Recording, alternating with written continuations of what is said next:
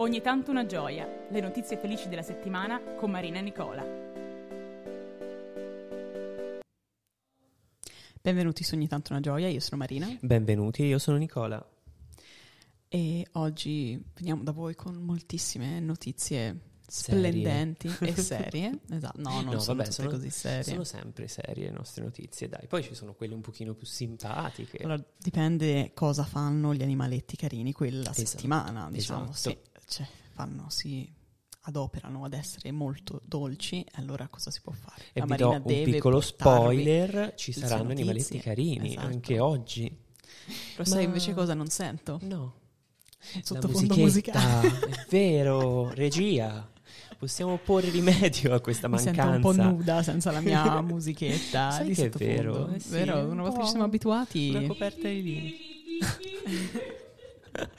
va bene, forse l'avremo, se no dovrete sentire le nostre voci. So- e solo cappella. quelle. E ve le faremo bastare. Esatto, quella è la nostra prima notizia, Nicola. La nostra prima notizia si va sul sole. Sul sole, Sì, bellissimo. che già la scorsa puntata no, si è reso protagonista di una notizia con queste aurore boreali che si erano viste alle nostre... Eccola. Oh, oh, oh, eccola!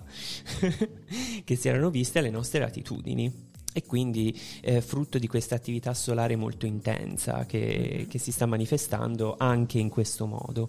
E, mm, oggi vi parliamo di una macchia solare che eh, sulla scia di questa, di questa attività eh, potrebbe causare no- delle tempeste geomagnetiche. E questa è una buona notizia? È una buona notizia, ni, perché ne potrebbero esserci altre aurore boreali come quelle che si sono Ok. viste. Diciamo che è per quello che è una buona notizia per noi, Esatto, e poi per vabbè, osservatori celesti. ha un carattere scientifico-spaziale che a noi piace sempre abbastanza.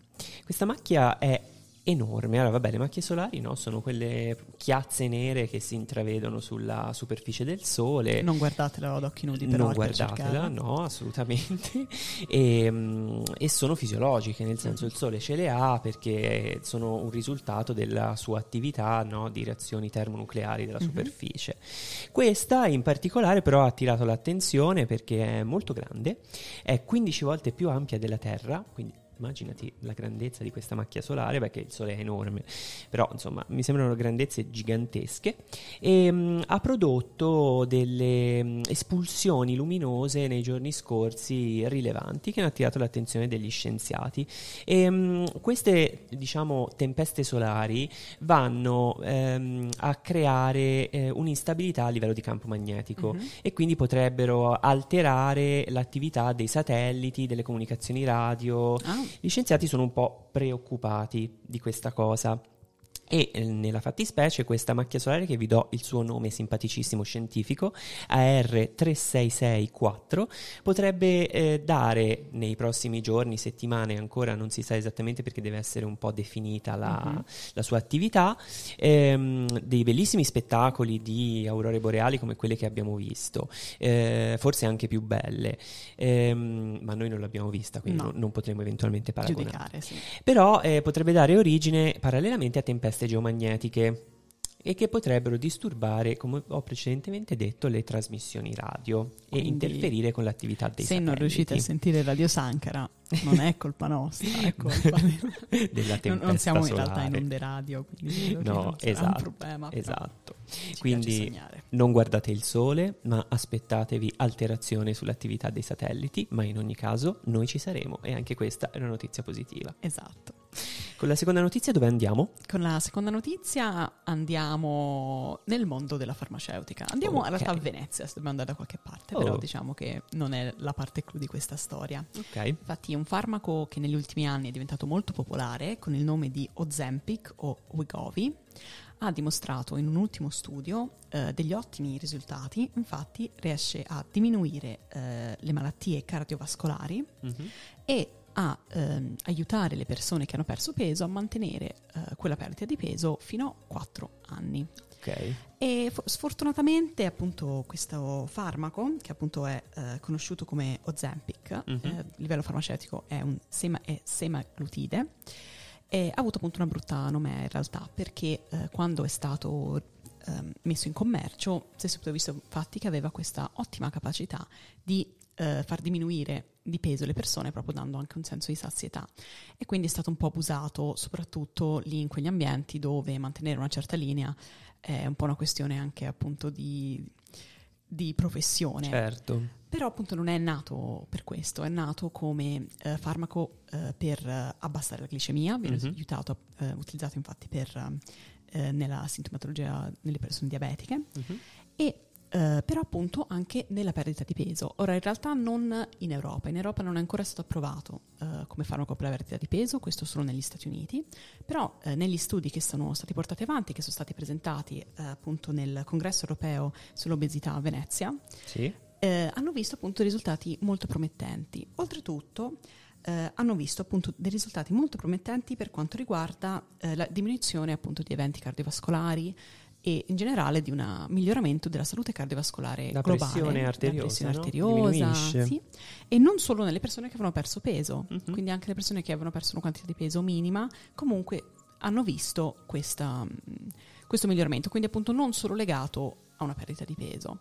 Ok. E quindi è un ottimo, è un ottimo risultato. E comunque, appunto, io personalmente sono, sono a favore dell'utilizzo di farmaci la perdita di peso. Credo ci sia un grande stigma contro il loro utilizzo, ma invece credo che chi vuole intra- intraprendere questo percorso deve avere a disposizione tutte le. le- Sì, bisogna dare la mezzi. possibilità di, di scegliere tra tutte le eventuali percorsi, Esatto. no? Poi può essere un percorso insieme, uno appunto fa un percorso sociale, mh, psicologico, nutritivo, però può fare anche un percorso farmacologico. Esatto, anche perché ognuno di noi è diverso, quindi magari quello che va bene a te non va bene per me, ma proprio da un punto di vista terapeutico e quindi magari Esatto. anche la risposta terapeutica alla terapia, quindi eh, può essere migliore per una persona utilizzando il farmaco. E quindi sì, è un'ottima notizia. Ci piace, Esatto. ci piace. Parliamo sempre di Cuore, ricerca, di cuore. Ricerca di cuore. Esatto, perché a Bologna eh, ci sono alcuni ricercatori che hanno scoperto una proteina che ripara il cuore Ottimo. e lo hanno fatto con degli studi sullo zebrafish, che è questo Ah, organismo modello, no? su cui si carino. fanno tutte le ricerche perché come tutti gli organismi modello sono mh, de- degli organismi appunto degli esseri viventi che hanno uno sviluppo molto rapido e quindi compatibile con l'attività di ricerca in un Una laboratorio. volta si usavano le mosche della frutta, ora Poverini, si usano un po' meno. drosofile. esatto. E gli organismi modello sono una- la drosofila, appunto c'è il lievito, Mhm. eh, c'è questo pesce, c'è la pianta, la Cellule Lepidopsis, e, e sono appunto un, un ventaglio di organismi eh, di tutti i tipi, quindi piante e animali, e lieviti e poi c'è anche la nostra amica drosofila, e, mm, utili appunto a condurre ricerche e a capire qual è la risposta all'interno dei vari ecosistemi organici. E in questo caso, eh, a partire appunto da questo piccolo pesciolino, il pesce zebra, gli scienziati hanno scoperto una molecola molto particolare delle proteine morfogenetiche dell'osso chiamata BMP7 Mhm. che ha ehm, effetti eh, significativi nella proliferazione delle cellule muscolari cardiache in fase neonatale.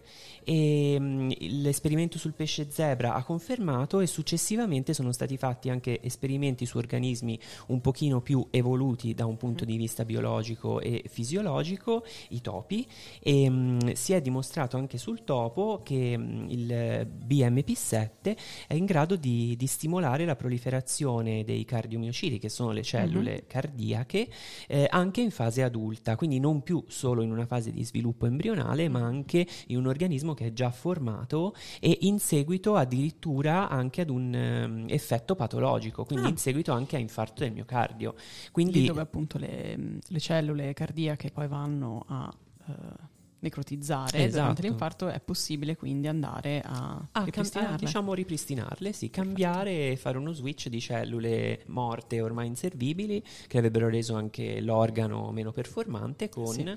eh, un... Ti fai sbattere con la macchina per portarlo al meccanico e ti Esatto. cambia la portiera. Esatto, solo che in questo caso la portiera è un cuore, quindi insomma Sì, non è un qualcosa eh, di, molto, di molto semplice su cui, su cui agire. Ehm, I ricercatori sono molto ottimisti e mm, ovviamente la sperimentazione va avanti, eh, devono essere sviluppate Certo. strategie terapeutiche perché poi quando si fa il passaggio da eh, animali da esperimento, uomo, diciamo il salto è abbastanza Mhm. complesso, eh, però ci sono ottime prospettive.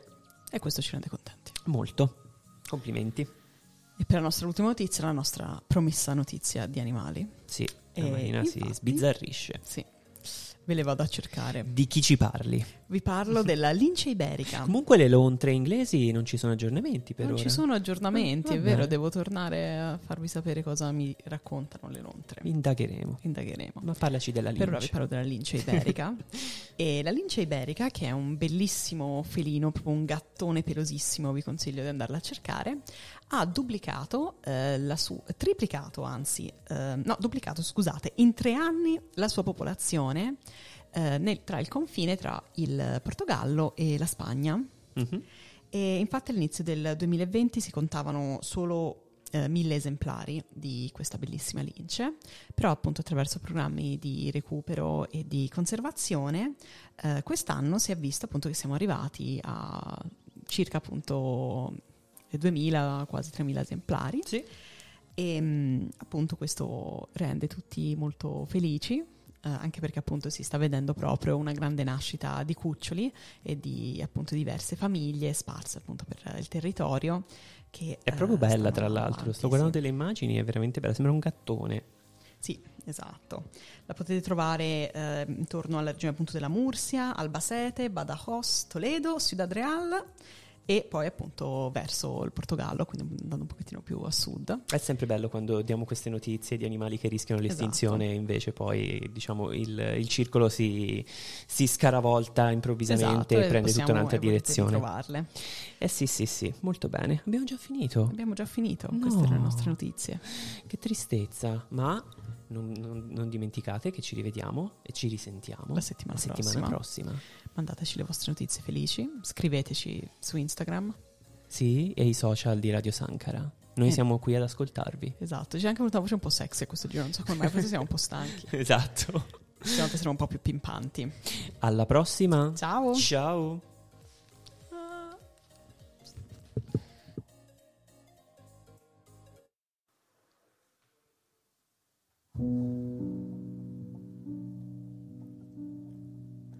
Il lavoro in Italia è troppo precario e i salari sono troppo bassi. Tre persone al giorno muoiono lavorando. Per realizzare il massimo profitto possibile, appalti, subappalti, finte cooperative, esternalizzazioni di attività sono diventati normali modelli organizzativi di ogni azienda privata e pubblica. Il frutto di vent'anni di leggi sbagliate è un netto peggioramento delle condizioni di vita e di lavoro delle persone che per vivere devono lavorare. Per questo CGL vi invita a firmare per il referendum abrogativo. I quesiti su cui siamo chiamati ad esprimerci sono cancellare il Jobs Act, tornare all'articolo 18 per tutti, cancellare il tetto massimo all'indennizzo in caso di licenziamento illegittimo nelle aziende piccole e medie, cancellare l'abuso del contratto a termine, cancellare la deresponsabilizzazione delle aziende committenti nel ciclo degli appalti. Potete firmare su www.cgl.it slash referendum ai banchetti che troverete nelle piazze oppure alla sede CGL più vicina a voi.